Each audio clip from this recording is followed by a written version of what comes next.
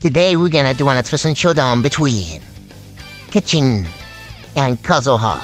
Yes, I said it. And now we're gonna try it. I put Sucrose in this team instead of Kazuha for one reason. She's fighting Kazuha. She she's not gonna get his help. And that's simple. So we're gonna try them right now. And we're gonna see who's gonna win this one, okay guys? One sec. Do this. Then we're gonna do this. Gonna do this. Come on. Now switch, switch. Dude, come on. Come.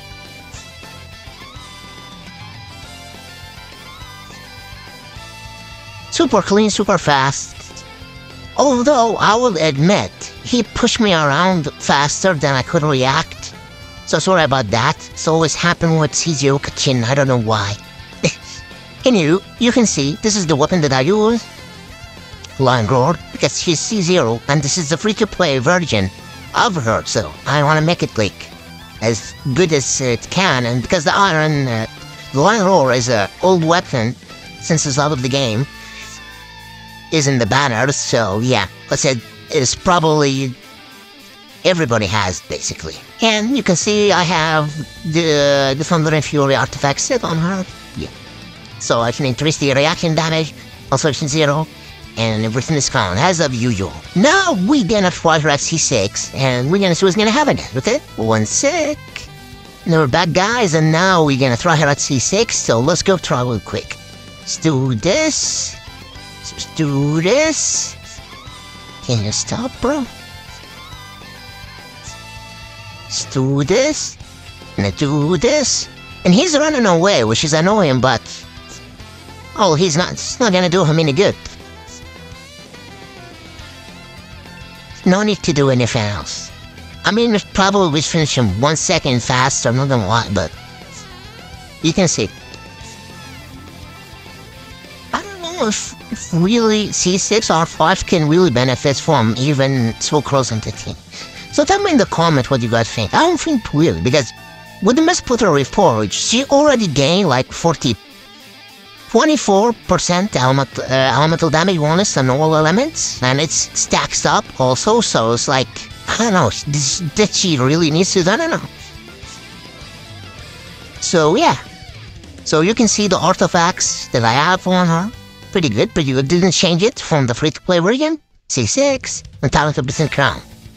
So now, guys, we're gonna try Kazuha with the free-to-play build, and we're gonna see who's gonna win this one. Okay, guys? One sec. We're gonna try Kazuha with the free-to-play build, and let's go try. Let's go.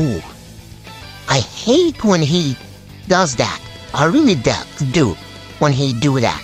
Bro, can you not do this? Come on, come on, let's go, let's go, baby. Come on, come on, come on, come on, Kazuha, come on. I couldn't do the last jump, or he would probably die a lot quicker. But I'm gonna show you the build. This is the stats. See, it's pretty good. If my health was a lot higher, probably would be 100% crit rate, okay? This is the power of the Harbinger of Dawn. That's why I had Jean and Bennett in the team. And Jean, because I have her in the team because she can actually lower the Anemo resistance by 40%. That's why as well.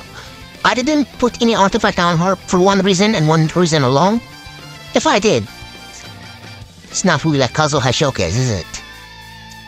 So, I put this artifact on her, uh, on, on him, sorry, because that's why you see him when he does charge attack, so I can increase the jump damage, uh, the plunge damage when I'm doing his skill. Zero, constellation zero, and every talent is crowned.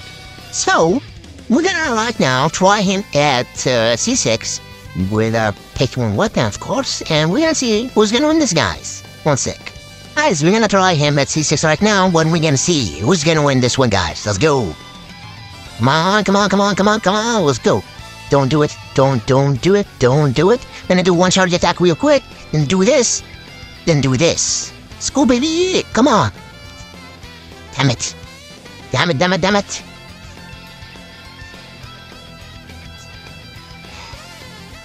I mean, I just cool up, but it's not a big of a deal. I think he did finish it really quickly.